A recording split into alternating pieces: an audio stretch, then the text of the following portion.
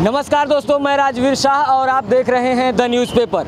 दोस्तों, इस समय हम हैं जे कैंपस के बाहर और यहाँ पर जेएनयू के स्टूडेंट हैं। जिस तरह से आपने देखा कि जेएनयू की दीवारों पर ब्राह्मण भारत छोड़ो, बनिया भारत छोड़ो लिखा गया है। इसके बाद खून को लेकर तरह तरह की बातें आपको आपने मीडिया में और हमारे चैनल के माध्यम से देखी हैं। और जेएनयू के छात्र हमारे साथ हैं, जानने की कोशिश करते हैं कि आखिरकार ये किसने किया है और कौन सी विचारधारा है जो ये सब कर रही है। हमारे साथ बहुत से छात्र हैं। क्या नाम है, सर? मेरा नाम सिद्धांत मिश्रा है। मिश्रा जी और- क्या हुआ है ये जो पूरा का पूरा मैटर पहले हमारे दर्शकों को आप बताइए। ये नारे कोई ब्राह्मण बनिया और सवर्ण समाज के विरोध में नहीं लिखे गए हैं। डॉक्टर प्रवेश कुमार चौधरी जो विश्व हिंदू परिषद के राष्ट्रीय प्रवक्ता हैं और स्कूल ऑफ़ इंटरनेशनल स्टडीज़ में असिस्टेंट प्रोफेसर हैं वो दलित समाज से आने वाले एक प्रोफेसर हैं। उनके चैम्बर पर लिखा गया है गो बैक टू शाखा।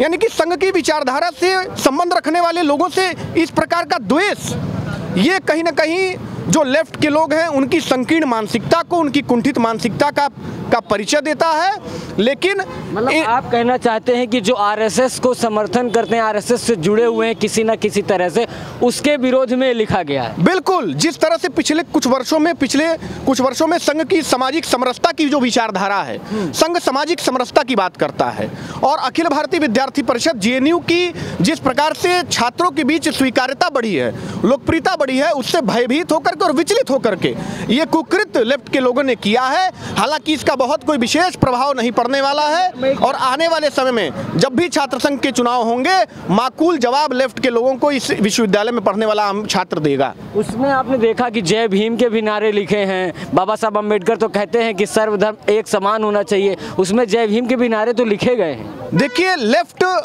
अगर ये समझता है कि जय भीम के नारे लिख करके और एक वर्ग विशेष को गाली दे करके वो कोई अपना पॉलिटिकल हेतु सिद्ध कर पाएगा तो वो ये उसकी बहुत बड़ी गलतफहमी है। डॉक्टर बाबा साहब भीमराव अंबेडकर जो भारत रत्न हैं जो पूज्य हैं उन्होंने कभी किसी वर्ग विशेष के विषय में कुछ गलत बोलने का या फिर विद्वेष पूर्ण भाव रखने को कभी बढ़ावा नहीं दिया।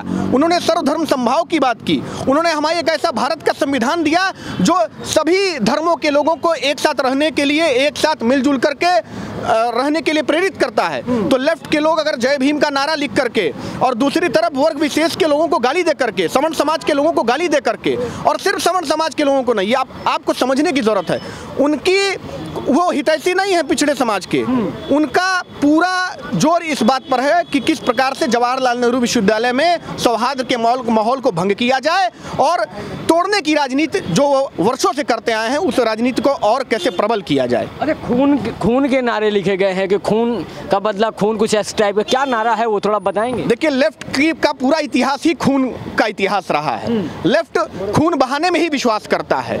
लेफ़्ट हिंसा करने में ही विश्वास करता है। आपने देखा है पिछले पिछले कुछ वर्षों में पिछले लगातार कई वर्षों में ऐसी तमाम घटनाएँ हुई जब लेफ़्ट ने अपना पॉलिटिकल हेतु सिद्ध करने के लिए आम विद्यार्थियों का खून बहाया है। तो ये जो नारे हैं, जहाँ पर वो खून बहाने की बात कर रहे हैं, ये कहीं ना कहीं लेफ़्ट की जो हिंसक प्रवृत्ति है, बंगाल में आप देखिए, आप केरल में देखिए, आप आज़ादी के बाद जहाँ जहाँ भी लेफ़्ट सक्रिय रहा है, वहाँ पर देखिए वहाँ पर उन्होंने खून ही बहाया है। तो ये कोई नई बात नहीं है। लेफ़्ट ऐसे नारे लिख करके अपनी प्रवृत्ति का अपनी अपने चरित्र का परिचय दे रहा अभी है आपने कहा कि छात्र संघ के चुनाव हैं तो जीतेंगे छात्र संघ में एबीपी के लोग। क्या छात्र संघ से इसको जोड़कर देख रहे हैं? चुनाव को लेकर देख रहे हैं आप? नहीं नहीं देखिए मेरे मैंने क्या कहा? मैंने कहा कि आने वाले समय में जब कभी भी छात्र संघ चुनाव होंगे यानी कि भाई अगर दो चार, अगर कुछ संगठन है, कैंपस जो है छात्र संघ चुनाव जो होता है, एक उत्सव होता है, वहाँ पर सारे संगठन जाते हैं तो लेफ़्ट के लोग जब अपनी इस विचारधारा को लेकर के, इस तोड़ने वाली विचारधारा को लेकर के वहाँ जाएँगे तो तो जवाहरलाल नेहरू विश्वविद्यालय का आम छात्र उनको जवाब देगा और निश्चित रूप से आने वाले समय में लेफ़्ट का पूर्ण सफाया पूरे देश से वो साफ़ हो चुके हैं। जेएनयू से उनको उम्मीदें बची हैं लेकिन यहाँ भी उनकी उम्मीदें बिल्कुल ज़मीन दोष होंगी। कुछ ब्रीफ कर पाएँगे? किन छात्रों ने लिखा है अगर हम जानने की कोशिश करें आपसे? अभी इस विषय में कुछ भी कहना ठीक नहीं है लेकिन यह बात साफ़ है कि जो भी नारे लिखे गए हैं और जैसे प्रोफेसर के चैम्बर के सामने लिख देना गो बैक टू शाखा ये संघ की विचारधारा के प्रति, विद्यार्थी परिषद की बढ़ती लोकप्रियता से भयभीत होना, ये स्वाभाविक रूप से लेफ़्ट की, लेफ़्ट का काम है। तो प्राइमा फेसी ये लेफ़्ट का ही काम है। और आने वाले समय में इसका माकूल जवाब आम विद्यार्थी लेफ़्ट को देगा। जेएनयू कैंपस के अंदर ब्राह्मणों के प्रति इतनी नफरत समर्ण समाज की अगर मैं बनियों की बात करूँ, वो लिखना बनिया गो बैक क्या देख रहे हैं? किस नज़रिए से देखते हैं? क्या ब्राह्मणों से इतना मतलब लोगों को वो हो गया कि उनको धिक्कार रहे, नारे लिखे जा रहे हैं जेएनयू के अंदर? ये जो चीज़ लिखी गई है, मेरे हिसाब से ब्राह्मण समाज के लिए नहीं, जो पूरा हिंदू समाज है, उस चीज़ को टारगेट करके लिखी गई है कि आपका यहाँ से खून बहेगा, आपको यहाँ से मार कर निकाल दिया जाएगा। जो एथनिक जिनोसाइड जो कश्मीर में आप 1990 का समय देखें, तब वहाँ कश्मीरी पंडित रहते थे। तो उनके घर के सामने तीन चीज़ें लिखी जाती थी, रलिव, गलिव और चलिव, कि क्या तो आप यहाँ से निकलिए, या आपको मार दिया जाएगा, या आप इस्लाम को स्वीकारिए। ये चीज़ कोई मैं हवा में नहीं बोल रहा हूँ, ये चीज़ ऑन रिकॉर्ड चीज़ें हैं। आज भी आप अगर आप डाटा उठा के देखेंगे, वीडियो उठा के देखेंगे। वहाँ से जो मस्जिद थे, या रोड से आज भी चिल्लाने की आवाज़ आती थी कि रलिव गलिव या चलिव जो कश्मीरी पंडित रहते थे, जिनको आज के समय में अपने ही देश में एक शरणार्थी के रूप में बनकर रहना पड़ रहा है। ये चीज़ है। और दूसरी चीज़ जो यहाँ लिखा हुआ है कि ब्राह्मण भारत छोड़ो, ये देश किसी एक, उसका नहीं है, धर्मनिरपेक्ष देश है। सभी के सभी जो धर्म है वो यहाँ आज से नहीं बहुत पुराने समय से झुल मिल कर रह रहे हैं। और किसी एक समाज को टारगेट कर देना ब्राह्मण भारत छोड़ो ये चीज़ टोटली शेमफुल है। स्पेसिफिक अगर मैं किसी एक पर्सन की बात करूँ किसी पर्सन के प्रति लिखा गया है किसी अध्यापक के प्रति या प्रचारक के प्रति लिखा गया है कि पूरा यूनिवर्सिटी में जो ब्राह्मण समुदाय या बनिया सवर्ण समुदाय उसके लिए लिखा गया ये सिर्फ़ दोनों चीज़ों के लिए लिखा गया कुछ हमारे जो प्रोफेसर है वंदना मिश्रा मैम जिनको इन वामपंथियों ने द, अ, जो फ़ी हाइक मूवमेंट था, उस टाइम पे तीन दिन के लिए अपने चैम्बर में जो इनका चैम्बर था, वहाँ पे उनको कैदी बनाकर रख लिया गया था। ना उनको वॉशरूम जाने दिया गया था, ना उनको पानी पीने तक की फैसिलिटी नहीं थी। या हमारे जो प्रोफेसर हैं डॉक्टर परवेश सर, उनके ऑफ़िस के सामने लिखा गया गो बैक टू शाखा ये किस मानसिकता को दिखाता है? शाखा से आपका क्या मतलब है? कि कोई आतंकवादी संगठन तो है नहीं आरएसएस कि वहाँ पे आतंकवाद सिखाया जाता है, या किसी को मारने की बात सिखाई जाती है, देश प्रेम के लिए और देश जोड़ने की बात की जाती है। तो ये चीज़ टोटली शेमफुल है। शेमफुल है। सर एक सर ये जो नारे लगाए गए, अभी आपने देखा कि ब्राह्मण भारत छोड़ो, बनिया भारत छोड़ो, किसने लिखे ये नारे दीवालों पर? देखिए, किसने लिखे हैं, ये तो पूरी तरीके से जाँच के बाद में ही हम लोग स्पष्टता पूर्वक कह पाएँगे, लेकिन जहाँ तक कि हमें एक्टिविटीज़ को देखते आए इस कैंपस में रहते हुए, हम जब एडमिशन कराने आए थे, तभी यहाँ की दीवारों पर ये लोग सबसे बड़ा आतंकवादी, ब्राह्मणवादी लिख करके और समय समय पर ये ऐसे कास्टिस्ट और जिनोसाइडल रिमार्क्स लिखते रहते हैं। यहाँ के वामपंथी संगठन का ही इसमें हमेशा से हाथ आया है और जैसा कि हिस्ट्री रिपीट्स इटसेल्फ इस बात को हम लोग कह सकते हैं पूरी तर्किक, तार्किक क्षमता के हिसाब से कि नहीं, यही लोग इसमें इन्वॉल्व हुए होंगे, चाहे कोई सी भी लेफ़्ट वाली पार्टी हो। आप जानते हैं यहाँ पर सब नाम बदल बदल के लेफ़्ट पार्टियाँ जो है, सबका औचित्य एक ही है, सबका कार्य एक ही करना, कार्य पद्धति भी एक ही है। कि सिर्फ़ और सिर्फ़ जो स्टूडेंट्स यहाँ पर जो पढ़ते हैं, जो 90 परसेंट स्टूडेंट सिर्फ़ और सिर्फ़ पढ़ाई करने आता है, उनकी पढ़ाई लिखाई को यहाँ पर बर्बाद करना, ये लोग जो ढिंडोरा पीटते हैं कि फेमिनिज्म स्यूडो फेमिनिज्म का ढिंडोरा पीटते हैं और जा करके महिला प्रोफेसर को लॉक करते हैं। यही इनका वैचारिक जो दोगलापन है, ये किया गया है। ये आज से जिन आज जिन महिला प्रोफेसर के जो उनके चैम्बर है उस पर लिखा गया ये वही महिला प्रोफेसर हैं जिनको तीन साल दो साल तीन साल पहले जब उस समय हम जे में नहीं थे उस समय हमने इनके बारे में न्यूज़ में पढ़ा था। यहाँ के फिर सीनियर्स ने कन्फर्म किया कि उन्हें लॉक किया गया था तीन दिनों के लिए। उन्हें तीन दिन के लिए लॉक कर दिया गया था वॉशरूम के एक्सेस नहीं दिया गया था और उन्हें खाने पीने के लिए भी उन्हें नहीं दिया गया था। तो वो वही एक, बा, एक, एक बात समझना चाहेंगे आपसे कि ये जे कैंपस के अंदर अभी भी गुटबाजी चलती है पूरी तरह से लड़ाई झगड़े का माहौल ऐसा रहता है आपके अगर मैं जानना चाहूँ? जी देखिए, गुटबाजी तो यहाँ पर, यहाँ के जो वामपंथी संगठन है, यहाँ के माहौल बिगाड़ने में कोई कसर नहीं छोड़ते।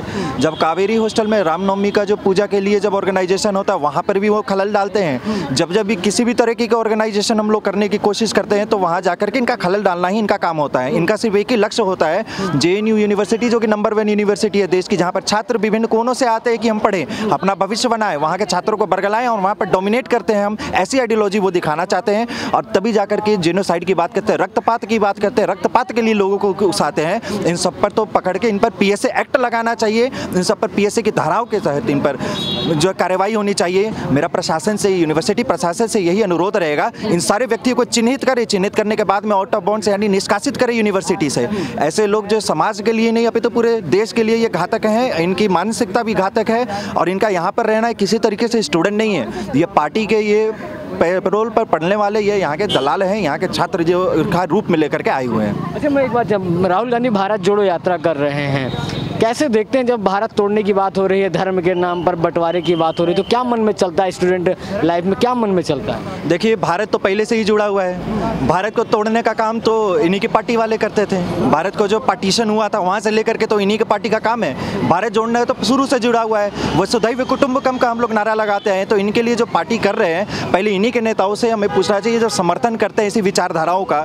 और ये जो समर्थन करते हैं जा करके कि स्टेट हुड सेपरेट करने का, इनकी तरह तरह के, आपको याद होगा कि आज से जब हम लोग धनुषकोडी के पास में जो राम सेतु बनी है, राम सेतु के मुद्दे पर ये बोले थे कि ऐसे किसी चीज़ में हम यकीन नहीं करते हैं। तो ये जो भारत के जो रीढ़, जो आस्था, सनातनी आस्था का रीढ़ जो है माना जाता है, जिनके अराउंड सभी रिवॉल्व करता है, श्री रामचंद्र जी के जो घटनाक्रम में जो जुड़ी हुई चीज़ें, उस पर ये यकीन नहीं रखते हैं। तो ये कैसे भारत जोड़ने की बात करते हैं? तो ये तो एक हास्यास्पद बात ही है। इनका माइंड ऐसा है कि ये भारत जोड़ने का नहीं, ये भारत तोड़ने का काम कर रहे हैं। जगह जगह जा करके आप इनके भाषण सुने। जिस कद के वो नेता हैं, उस कद के नेता के हिसाब से वो बात नहीं करते हैं। और उनके पार्टी के लोग जो है, माननीय प्रधानमंत्री के खिलाफ में कभी कुछ कभी कुछ अनाप शनाप बोलते रहते हैं। उन्हें किस तरह के संबोधन से उन्होंने नहीं सूचित किया है? तो भारत जोड़ेंगे कैसे जब भारत के माननीय प्रधानमंत्री के खिलाफ में? ये भूल जाते ये वही प्रधानमंत्री है जो जब उनके कार्यकाल वाले जो प्रधानमंत्री थे, मनमोहन सिंह के खिलाफ में पाकिस्तान के जो तत्कालीन प्रधानमंत्री ने उल्टा सुलटा जो बोला था तो उस समय जो ये प्रधानमंत्री के उम्मीदवार थे, अभी वर्तमान के प्रधानमंत्री, उन्होंने आवाज़ उठाई थी हॉट डे यू कि तुम हमारे प्रधानमंत्री के बारे में ऐसा बोलो? लेकिन ये जाकर के विदेश में ही हमारे एक सरकार के खिलाफ बात करते हैं जो कि इन्हें नहीं करना चाहिए। तो ये भारत जोड़ने का नहीं भारत तोड़ने का काम करते हैं। समझना चाहूँगा। एबीवीपी इसको लेकर क्या करना चाहता है? अगर एबीवीपी की बात करें कोई राष्ट्रवादी संघ कहा जाता है राष्ट्रवादी छात्र संघ है तो क्या कर, करेगा एबीपी आने वाले समय में? देखिए निश्चित तौर पर एबीवीपी देश को जोड़ने की बात करता है। जहाँ एक और लेफ़्ट देश को तोड़ने की बात करता है। और आपने देखा कुछ साल कुछ वर्ष पूर्व लेफ़्ट ने लेफ़्ट से संबंधित लोगों ने यहाँ देश तोड़ने के नारे लगाए। वहीं एबीवीपी लेफ़्ट वहीं एबीवीपी देश जोड़ने की बात करता है। अभी कुछ दिन कुछ दिन पूर्व ही हमने जनजाति दिवस मनाया। अभी हम आने वाली छह तारीख को को सामाजिक सम, समता दिवस मनाने जा रहे हैं। एबीवीपी अपने कार्यक्रमों के माध्यम से सदैव सामाजिक समरसता का संदेश समाज में देती रही है और हम जाति पंथ से ऊपर उठ करके छात्र हितों में काम करने वाले संगठन हैं और हम अपनी इस विचारधारा पर बने रहेंगे और लेफ़्ट के लोगों का असली चेहरा, जो उनकी विद्वेषपूर्ण राजनीति है, समाज को तोड़ने की, बांटने की राजनीति है, वो आज देश की जनता समझ चुकी है और जिस तरह से लेफ़्ट का सफाया पूरे देश से हो रहा है और हो चुका है अगर जेएनयू से उनको कुछ उम्मीदें हैं कि जेएनयू में वो अपना किला बचा पाएँगे तो ये उनकी भारी भूल है। आने वाले समय में वो जेएनयू से भी साफ़ हो जाएँगे। एक पॉलिटिकल क्वेश्चन पूछना चाहूँगा। भारत जोड़ो यात्रा इस समय राहुल गांधी की चल रही है। भारत जोड़ने की बात कर रहे हैं। जेएनयू के अंदर तोड़ने की बात हो रही है। राहुल गांधी जी का जो द्वंद्व है वो इसी से साफ़ ज़ाहिर होता है। जब कभी जवाहरलाल नेहरू विश्वविद्यालय में लेफ़्ट ऐसी घटनाएँ करता है तो वो शांत हो जाते हैं। उनकी पार्टी या उनके पार्टी से संबंधित लोग कोई ऐसी बात नहीं करते हैं। आपको याद होगा जब आ, आ, जब एक बार देश विरोधी नारे जवाहरलाल नेहरू विश्वविद्यालय विश्वविद्यालय में लगाए गए थे उस समय लेफ़्ट के लोगों को आकर के आदरणीय राहुल गांधी जी ने समर्थन दिया था।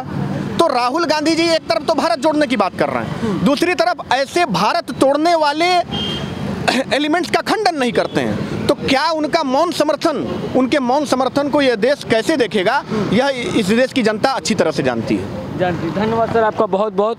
तो ये समझ लीजिए कि जेएनयू के छात्र हैं, एबीवीपी के छात्र हैं, और जिस तरह से आपने देखा कि ब्राह्मण भारत छोड़ो, बनिया भारत छोड़ो, के स्लोगन्स दीवार पर लिखे गए हैं। यहाँ तक कि जय भीम के स्लोगन्स भी दीवार पर लिखे गए हैं। आखिरकार इसके पीछे कौन सी मानसिकता है, इसके पीछे कौन सी मानसिकता काम कर रही है, ये अपने आप में सोचने का विषय है। इस समय अगर मैं कैमरा पर्सन के ज़रिए आपको दिखाने की कोशिश करूँ, हम जेएनयू कैंपस के बाहर हैं कैमरा पर्सन आपको दिखा सकते हैं, जेएनयू कैंपस के बाहर हम खड़े होकर इस समय ग्राउंड रिपोर्ट आप तक पहुँचाने की कोशिश कर रहे हैं। लेकिन ये समझने वाली बात होगी कि आखिरकार इसके पीछे कौन सी वो मानसिकता है जो इस तरह के नारे बार बार जे के अंदर, जिस तरह से भारत के टुकड़े होंगे, इंशाल्लाह इंशाल्लाह के नारे इससे पहले आपने देखे। इससे पहले आपने बहुत सारे देश विरोधी गतिविधियाँ भी जेएनयू के अंदर देखी और अब फिर एक बार ये नारे आपको दिखाई दे रहे हैं। एक तरफ़ अगर बात करें भारत जोड़ने की बात हो रही है तो इधर अब ब्राह्मण और बनिया भारत छोड़ो के नारे लगाए जा रहे हैं। बहरहाल, आगे क्या होता है इस मुद्दे पर? बने रहिए द न्यूज़ पेपर के साथ। मैं हूँ राजवीर शाह।